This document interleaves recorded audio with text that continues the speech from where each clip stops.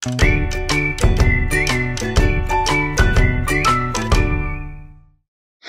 kids! Welcome to another episode of Who God Made You to Be. Smartphones have cameras on the same side of the screen so you can take selfies with your friends. We live in a selfie culture where everybody can become a star on TikTok, YouTube, Instagram, or any number of social media sites. This world tells us we should all st- I mean aspire to be stars. It's all about us. The Bible reminds us over and over, it's not about us, it's about Jesus. Instead of using the camera that faces us, we need to look through the camera at the other side. We need to aim our hearts and minds at the one who truly deserves a praise. Just as Jesus saved the lepers from their disease, Jesus saved us from any kind of sin. Any praise we receive, we need to give it back to God and point others to Jesus. Jesus has saved us. That's a message that truly needs to go viral. Let's do our part and lift our voices to praise Jesus.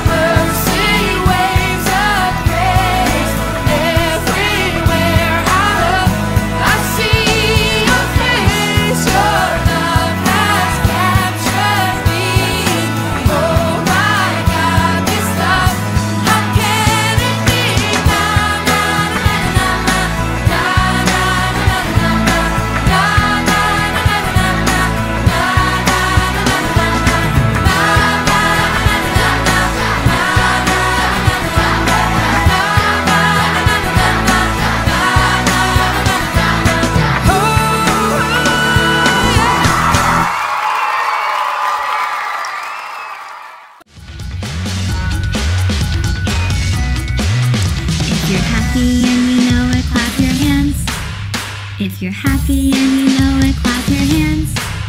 If you're happy and you know it, and your life will surely show it. If you're happy and you know it, clap your hands. If you're happy and you know it, stomp your feet. If you're happy and you know it, stomp your feet. If you're happy and you know it, and your life will surely show it. If you're happy and you know it, stomp your feet. If you're happy and you know it, shout amen.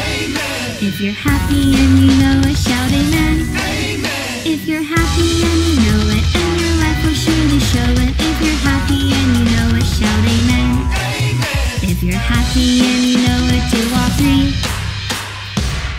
Amen. If you're happy and you know it, do all three. Amen. If you're happy and you know it, and your life will surely show it. If you're happy and you know it, do all three.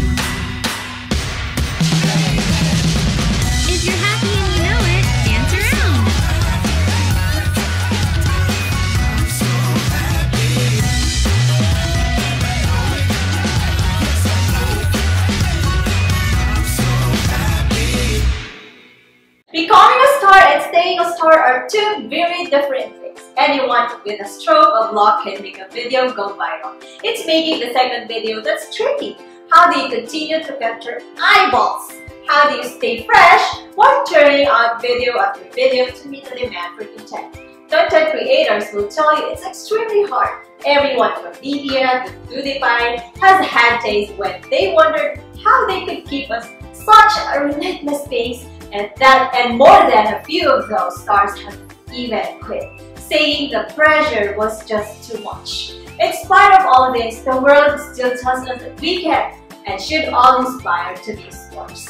We should all want to be the next viral superstar, and we and when we make it, we should bask in the praise of our fans.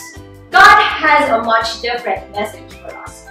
He wants us to remember that He alone is God and He alone is worthy of praise. He has given us all talented gifts that we can use to serve others and make a living. And if one of you ever uses those gifts to become a viral superstar, that's great! But don't forget who gave you those gifts. Don't forget who sent His Son to become your Savior. Don't forget to praise the Lord. Today's story is about 10 men who received an incredible gift from God. All 10 of them were incredibly excited what Jesus did for them. But only one of them put first things first and gave the glory to God.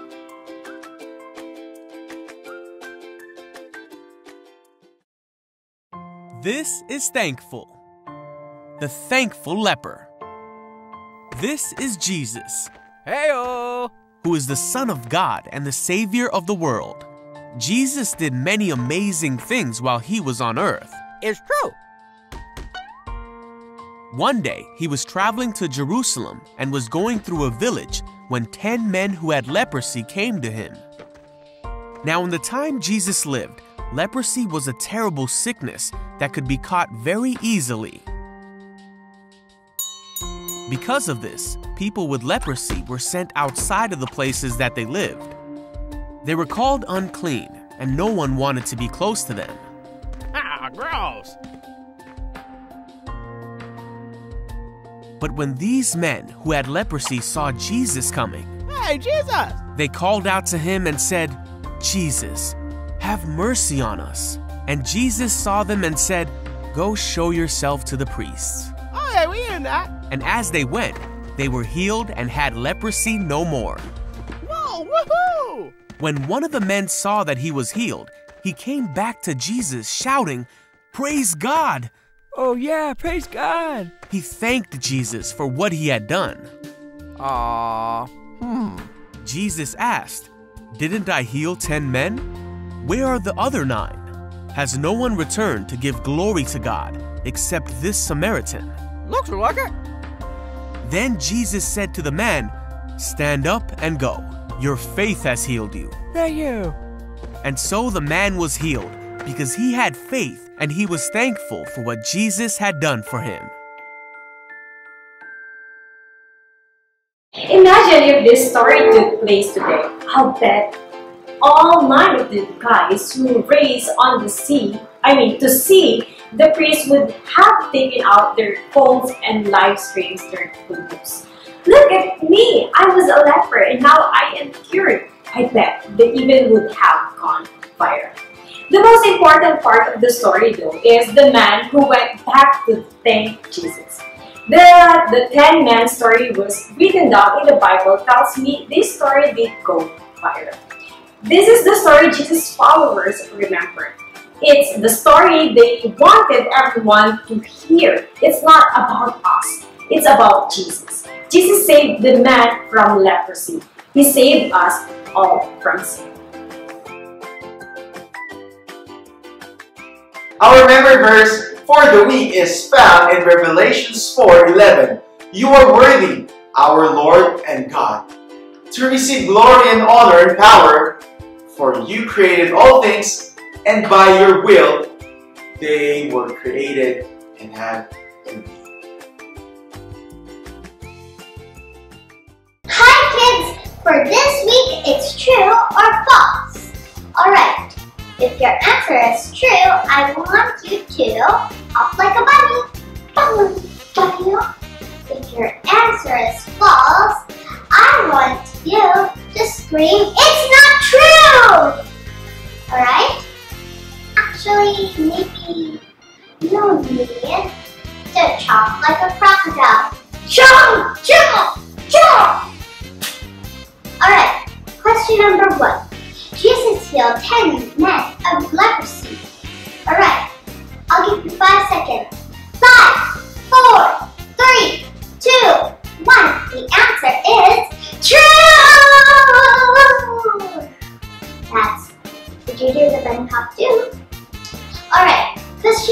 Question